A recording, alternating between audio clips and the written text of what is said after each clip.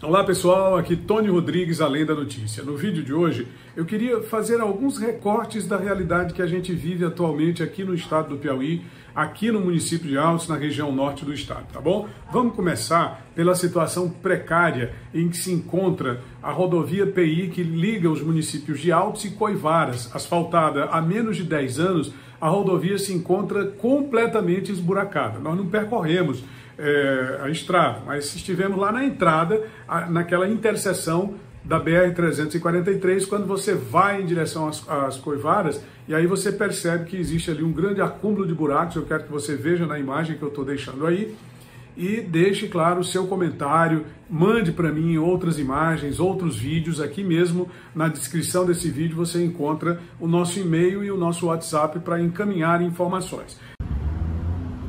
Pessoal, isso aqui é a entrada da cidade de Coivaras, rodovia PI, que vai até a cidade de Coivaras. Ali é a BR-343, aqui tem essa pequena rotatória, na qual você vai... Olha só como é que está a situação dessa estrada. Tamanho da buraqueira.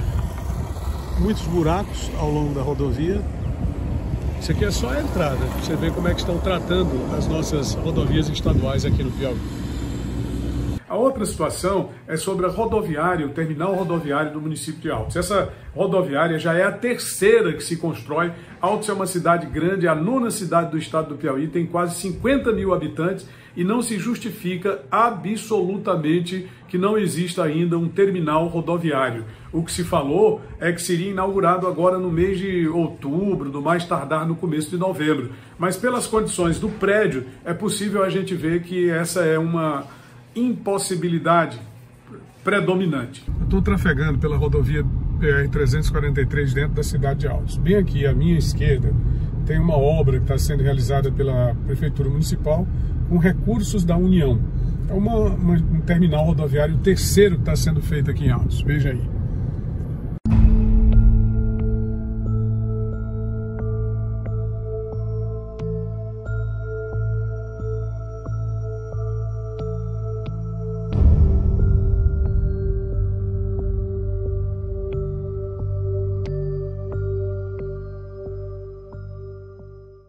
Bom, o, a cidade já teve outras duas obras. Em 1997, o governo da senhora Eliette Fonseca, na época, construiu um terminal rodoviário, aplicou ali 29.900, era uma fortuna para a época, não é? Somente numa obra que era um galpão, sem qualquer tipo de infraestrutura, não deu certo, depois os ciganos ocuparam. É, no começo dos anos 2000, a então prefeita Elvira Raulino construiu um outro terminal perto do mercado público, hoje é um galpão para os feirantes. Ele, inclusive, está com a sua base, a estrutura completamente corroída e a prefeitura agora fez um arranjo ali. Depois que nós denunciamos, eles fizeram um arranjo com um cimento na base, fizeram, colocaram um concreto na base.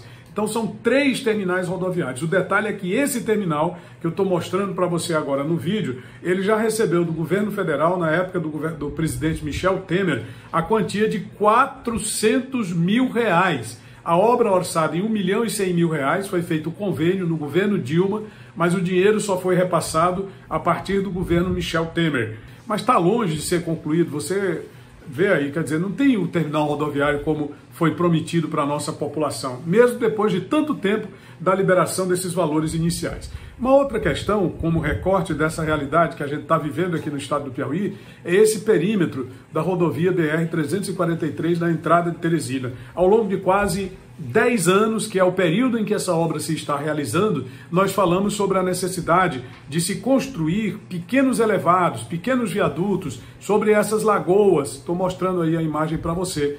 É, Vários crimes ambientais foram perpetrados, foram praticados nessa região e agora, finalmente, o governo entende que é preciso realmente fazer os elevados, está fazendo os elevados. É claro que engenheiros, é claro que pessoas que têm é, especialidade nessa matéria devem ter falado para Sua Excelência, o governador, de que essa proposta ela, ela não era de todo desprovida de fundamento, tanto é que ele está fazendo aí, fazendo tardiamente, mas está fazendo.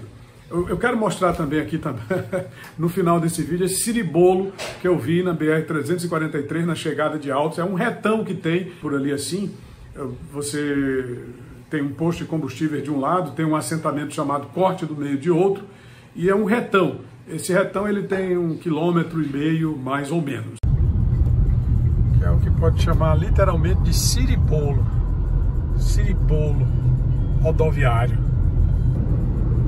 Vai para, vai para a outra. Vai ver um, um caminhão do tamanho do mundo e o sujeito vai ultrapassar dessa hora. Ai, ai. Olha o tamanho dele aí.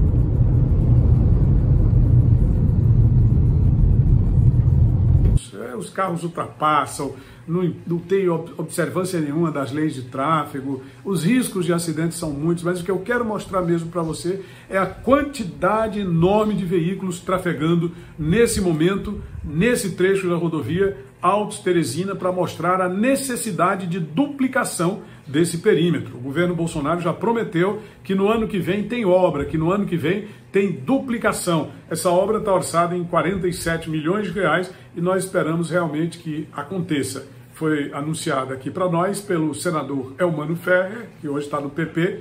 Ele nos disse, nos deu essa informação em primeira mão e nós transmitimos para vocês e agora mostramos aqui a necessidade de realização dessa obra. Para finalizar, eu quero dizer que o nosso município de Altos que é uma área metropolitana da Grande Teresina, voltou aos tempos do Estado Novo. Naquela época, o abastecimento de água era feito em carroças ou lombo de burro através de ancoretas. Se pegava água de açudes, se pegava água de, de riachos, rios, sem qualquer tratamento, era levada para reservatórios dentro das residências. A mesma coisa está acontecendo agora em Altos através de carros-pipa, sem qualquer tratamento por conta de crise no sistema de abastecimento de água, que vem de uma crise já existente há vários anos de gestões descompromissadas dentro da GESPISA, porque não é falta de dinheiro e não é falta de recursos, não é falta de água. Mais outra casa agora na Rua Brasil, sendo abastecida.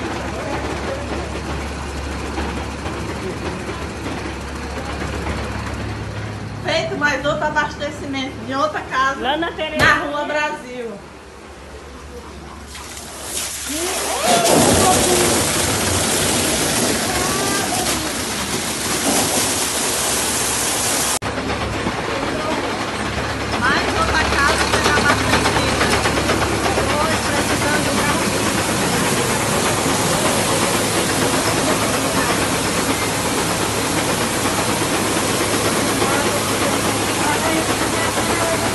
Aqui nós temos o subsolo mais rico do Brasil, que é o aquífero Poti, de acordo com a ANA, que é a Agência Nacional de Águas, e de acordo com todos os órgãos de imprensa especializados na cobertura ambiental. É lamentável que a nossa população esteja passando por isso novamente, é, como se estivesse numa máquina do tempo, voltando ao começo do século XX.